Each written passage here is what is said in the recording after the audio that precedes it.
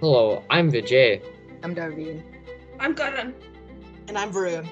This is the presentation on states of matter in space and gas giants like Jupiter and Saturn. Before we proceed to the states of matter in space, let's recall what we know about the states of matter on Earth.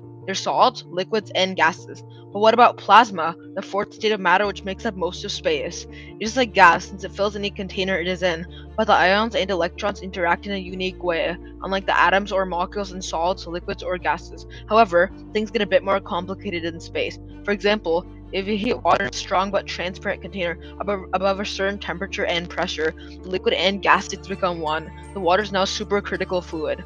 In space, there are quite a few exotic states of matter like this. This is important in understanding space, especially in gas giants, since gas giants are unique and their structure differs from planets like Earth. For example, liquid hydrogen is present in the mantle of Saturn and Jupiter, which has properties of liquid as well as gas.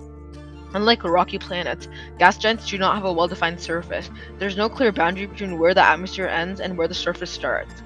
It is the atoms and molecules that make up our physical world. The physical characteristics of these atoms and molecules decide their state.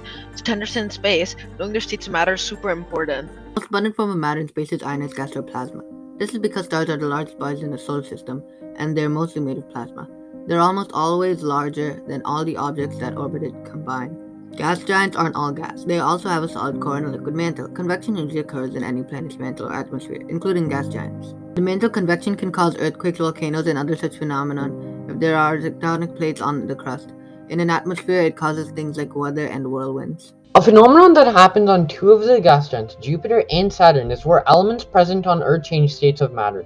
For example, hydrogen is a gas on Earth, but on Jupiter and Saturn, it changes form to become metallic or solid. Under low pressure, molecules of hydrogen and helium have lots of room to bounce around like gases. However, this weight of these gases are heavy and it presses down towards the planet's core, creating high pressure. The molecules run out of room to bounce around, so instead they slow down and crowd together. This creates a liquid. As the pressure increases, the hydrogen atoms start to lose their electrons, which makes the electrons unbound so they can move easily between the nuclei. This is a property of metal, and hence hydrogen in these planets behaves like a metal. Another interesting phenomenon is Saturn's ring because of how close the particles are, like in a solid molecule. These particles rub across each other, which exerts mutual gravitational influence. Because of these interactions, we see phenomena such as waves that move across the rings, just the way water waves move over the surface of the ocean. The third phenomenon is a strong magnetic field in the gas giants. There are electrons and protons of hydrogen, and they form Jupiter's radiation belts. The particles of matter get accelerated to high energies due to the strong magnetic field. There is high radiation in gas giants, but Jupiter has the most radiation. Path to explore more about space, there are many ways to get involved. One such interesting career is an aerospace robotics engineer. Aerospace robotics engineers are engineers who create robots or build robotic tools for space exploration that can perform functions withstand extreme temperature and pressure gradients of space.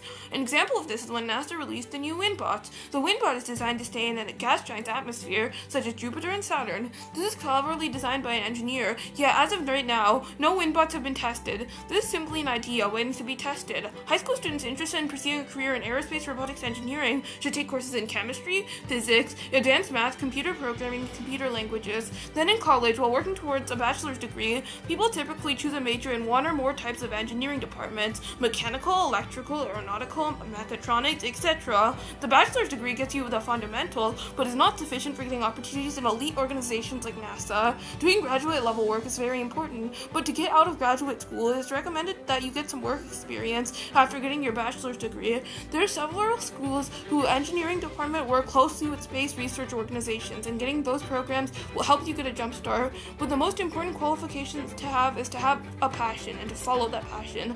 I will end this presentation by saying Mr. Les Brown's quote Shoot for the moon. Even if you miss, you land among the stars.